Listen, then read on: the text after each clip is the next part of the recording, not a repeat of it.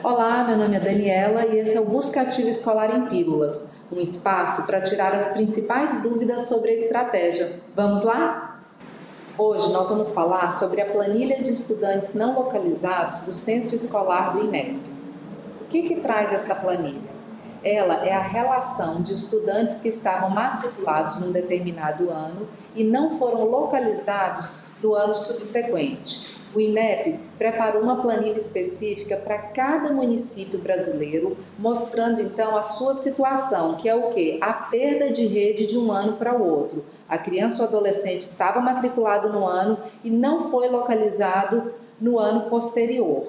Para cada um dos municípios, existe uma planilha específica que pode ser baixada diretamente no site do INEP e depois importada para dentro da plataforma da Buscativa Escolar como alerta. Vamos ver como é que funciona? No site da Buscativa Escolar, vocês vão na aba chamada Baixe os Materiais. Lá tem o Manual Educacenso que vai explicar todos os procedimentos necessários para baixar essa planilha e importar para a plataforma da Buscativa Escolar.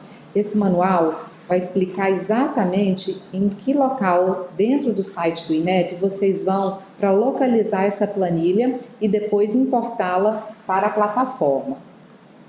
Dentro da plataforma, vocês vão na aba Configurações e na subaba Educacenso.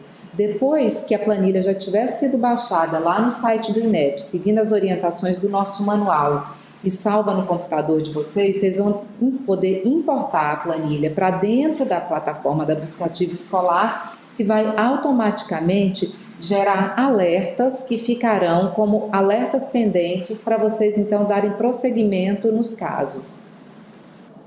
Este foi o Buscativo Escolar em Pílulas. Se você tiver outras dúvidas, entre em contato com nossos canais de atendimento. Até a próxima!